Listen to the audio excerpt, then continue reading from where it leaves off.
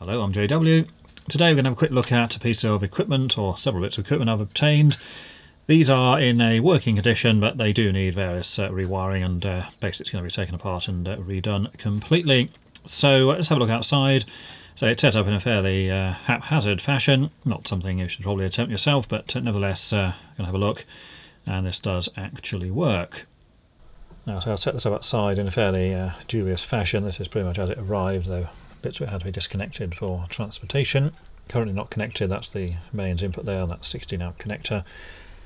That is uh, part of the AFDD and RCD testing rig, just using it at the moment with a couple of old devices to basically join some wires together.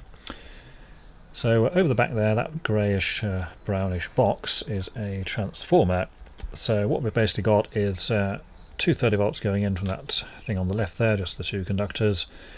Goes into the uh, transformer there on the back, that uh, rather shonky wiring coming out of it, and yes, that is how it was uh, supplied and obtained. So uh, that goes in there, and uh, I've got that box over the back there, which has a couple of meters on it and a switch. That uh, meters don't appear to work all that well, but uh, no matter, we're going to be replacing it. And then the other item is this motor here. This is a three-phase electric motor, and if I just put my foot on it, I'll see it's quite a big thing. So uh, that's that. And all wires back into that thing over there. And then the uh, other wires coming out basically go into that. And what we have coming out then is three phases and neutral. So basically it's single phase in and three phase coming out. So uh, it's a phase converter of the rotary variety. And as you can see it's fairly old and is in need of a certain amount of repair and attention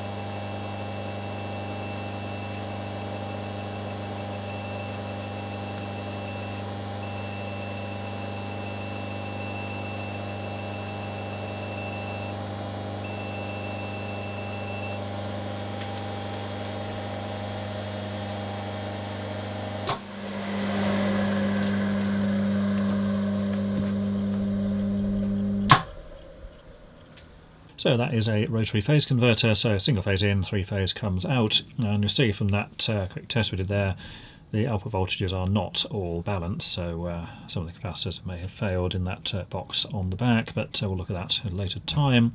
So I say it does work, and uh, for the money paid it was uh, well worth it. So it was sold in the condition it is there, and full well knowing that it would need a big pile of work to get it into a more sensible state. So that is it for this time, we'll be seeing it again in future videos. Until then, thanks for watching.